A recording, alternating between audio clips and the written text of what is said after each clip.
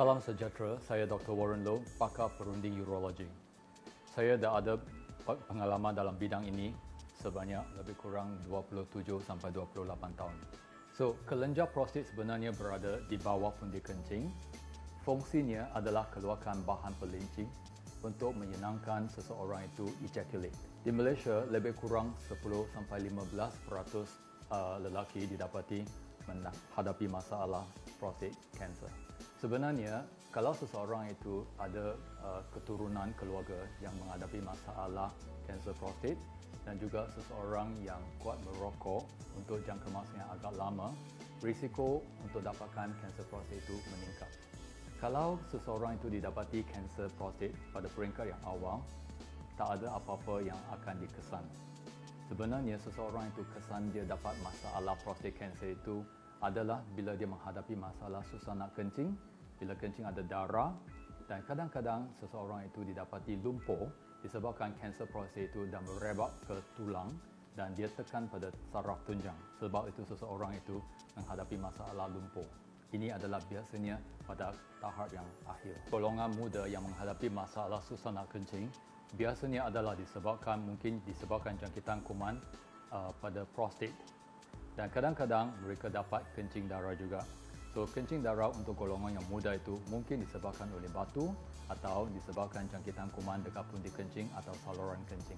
Biasanya kami akan mensyorkan supaya seseorang yang berumur 50-an dan ke atas untuk pergi buat ujian darah dan ujian darah itu adalah label PSA atau Prostate Specific Antigen. So, kalau dapat dia punya reading lebih daripada 4, itu adalah disyaratkan dapat kanser prostat. Prostat kanser ini bukan selalunya bergantung kepada PSA saja. Kerana kalau kamu tengok dekat sini, sini adalah pundi kencing diikuti dengan zakar. So di antara itu, satu kelenjar dekat sini adalah prostat. So bila kami periksa prostat ini, kami tak boleh periksa depan. Kami tak boleh periksa dekat bawah. Kami kena masukkan jari ke dalam tempat berak supaya kami boleh rasa prostat itu.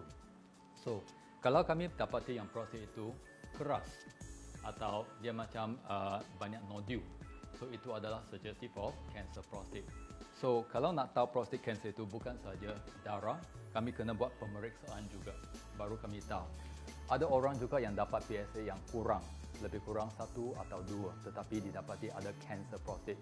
Kerana kadang-kadang walaupun uh, ujian darah itu adalah normal, tetapi bila kami buat pemeriksaan, kami dapati yang prostate itu sangat keras.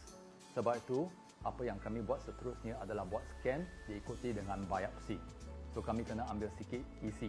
Kalau isi itu confirm cancer, itu adalah cancer. So yang ujian darah itu adalah satu guideline saja. Kami tak boleh ikut 100%. Gangguan yang biasanya uh, dihadapi oleh seseorang yang dapat kelenjar prostat itu tak banyak berbeza dengan seseorang yang mendapat masalah uh, kelenjar prostat yang besar. Kerana macam gastrik, kalau seseorang itu dapat gastritis ya atau gastric cancer dia punya tanda lebih kurang sama saja so seseorang yang dapat can, uh, kelenjar prostat yang besar dia punya tanda-tanda dengan kanser uh, prostat itu lebih kurang sama. So biasanya mereka menghadapi masalah susah nak kencing kerap pergi ke tandas kencing tidak habis dan kadang-kadang kencing didapati ada darah kadang-kadang sperma ada darah. Sampai sekarang kami tak tahu apa puncanya tetapi kami dapati kanser uh, prostat ini biasanya link dengan keturunan keluarga. Kalau seseorang uh, keluarga, kalau seseorang pesakit itu dapati ada kanser prostat, dia punya first degree relative itu bermakna dia punya brother dan juga dia punya anak dan cucu dan seterusnya uh, risiko mereka dapatkan kanser prostat adalah 9 sampai 11% lebih tinggi daripada uh, orang biasa. Biasanya kanser prostat ini kalau pada peringkat yang pertama sebenarnya dia boleh dibahagikan kepada tiga peringkat. Peringkat pertama adalah kanser prostat itu dekat prostat saja. Peringkat kedua adalah kanser prostat itu dah merebak keluar daripada prostat itu, sekeliling dia sikit. Peringkat ketiga adalah dia dah pergi ke saluran darah, dia boleh pergi ke merata-rata, terutamanya tulang. So kalau seseorang itu dapat kanser prostat pada peringkat pertama, yang rawatan yang baik sekali adalah buat operation keluarkan prostat itu.